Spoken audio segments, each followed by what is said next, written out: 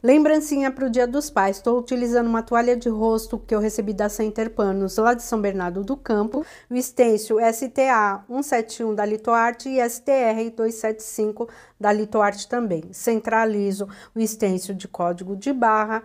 Protejo com fita crepe. Faço um detalhe aqui do lado com a fita crepe também.